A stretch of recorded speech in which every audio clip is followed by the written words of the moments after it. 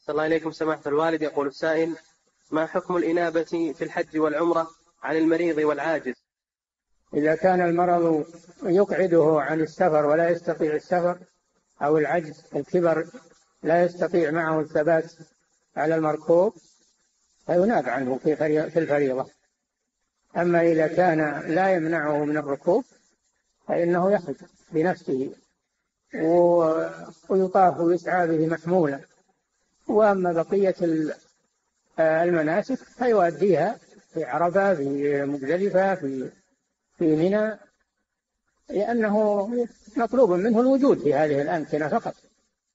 ورمي الجمار يوكل من يرمي عنه. نعم.